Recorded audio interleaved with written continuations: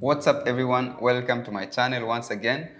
Today I'm going to be sharing with you over a decade and a half video editing wisdom that you should know about. Whether you're a complete video editing beginner or simply you want to polish your video editing skills, this video is for you.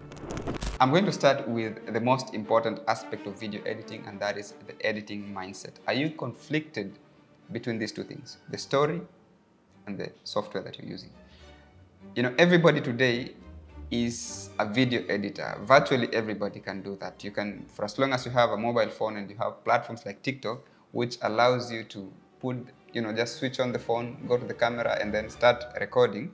Automatically, you can use like CapCut and then edit and then post, but that doesn't make you the best video editor. It just makes you a video editor. It doesn't make you a storyteller.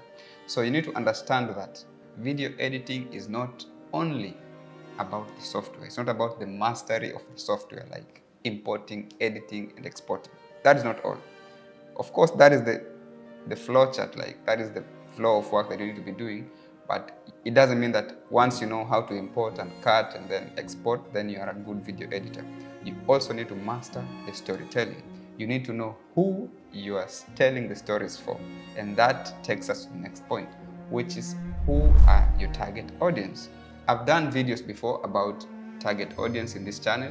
You can be able to click on the playlist on uh, content creation and you can, you can be able to review that uh, video, target audience. So you need to know, are you making this video for like, for example, is it a gamer's trailer that you're making? Is it a cool family video that is inspiring the warmth and the connection and the love in that family? I mean, you just need to understand who are you making these videos for. So your audience is very, very, very important. Not only the software, so you have the software, you have the story, and you have your audience. These three aspects need to be strongly understood so that you can be able to also master your video editing skills. Also, know that less is more.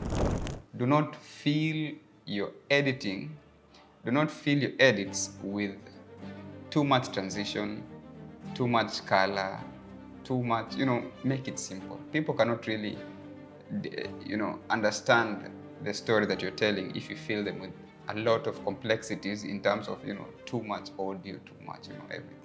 So less is very important. Remove unnecessary, uh, unnecessary edits that you, that is making that video not to communicate with you, actually wanted to communicate. Also, focus on making that particular video clear, concise, and engaging to your audience. If it is not going to meet these three principles, clear, concise, and engaging, then it's going to be boring to your audience. Also, you should learn to do something called showing, not telling. You should show people more. Show them what's happening. Don't tell them, you know. Like, the, the, the good aspect of telling is when, for example, you're doing a documentary and you're saying that uh, you're there, you're doing a P2C, PTC, you're there and you're doing a PTC, and then you're explaining, you know, these people are devastated, these people are corrupt, these people are, you, you know, all those manner of things, but you're not actually showing. So as a video editor, you should be able to combine that PTC with the B-rolls that actually streamline themselves, align themselves with what this, the, this reporter is saying. So you should be able to understand how to connect this, this, these two things. Hmm, let me see whether I've missed anything else. Oh yeah, let's go to the pro tips. The pro tips are here. You should always understand a clear story structure. A strong beginning, middle, and ending will make your audience invested in that particular content that you're doing. Maybe it's a five minutes video. If it's starting, you know, a clear story structure of, you know, this is the beginning of the story, this is how the climax is going in the middle, and then this is how the story ends, so we can get the resolution of the story.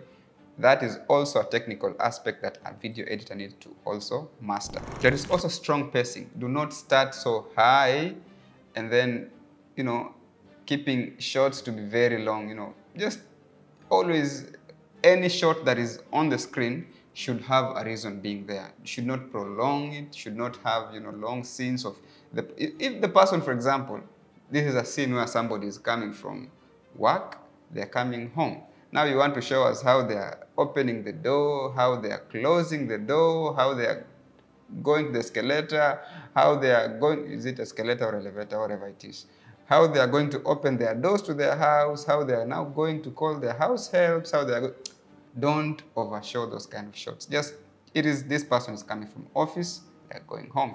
Even don't show us whether they're using the car or, nor unless it matters to your audience, nor unless it matters to that particular story. So avoid those unnecessary unnecessary shots that are going to make that story to be long. So the pace of the story has to be fast according to the storyline.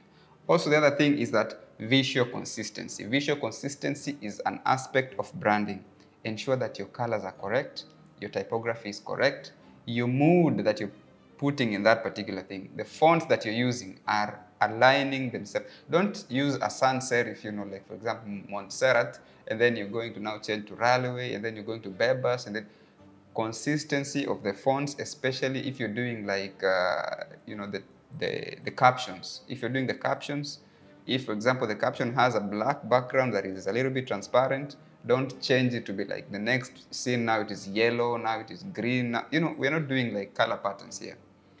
So consistency of that visual is very, very important. And then another thing that you also need to put in mind is that these two things, avoid over editing. Do not be carried away by fancy editing. You know, if you're always on YouTube watching these tutorials, somebody did this, the other person did this, and then you want to combine all those effects that you learned from everybody into that one video, you're going to overwhelm your audience. So consistency in terms of that, avoid over editing and also bad audio you should also concentrate on looking at how you can clean your audio. Depending on the, the, the, environment that you're shooting from, depending on the ambience that you're trying to put, depending on the mood that you're trying to also put your audience in. You can be recording in a studio, but when the sound is coming out, is you know, the sound feels like it was recorded in a forest because you wanted to put that kind of mood. So you did good sound treatment of that and you added those, those audio effects, those sound effects beneath the audio, and then you, you actually did something, some sound engineering when you're editing. So that is an, a skill that you also have to master. When you talk about mastering, always remember that practice makes, is it perfect really? But perfection comes with over practicing. There is somebody who said practice makes something else, but I'll not go to that. But practice is essential. The more you keep doing whatever you're doing in, in line of uh, the software that you're using, you're going to learn new things. And every year, for example, Adobe is giving out different review, different uh, updates, different, you know, better updates to make your work easier. Final Cut is doing the same. DaVinci Resolve is doing the same.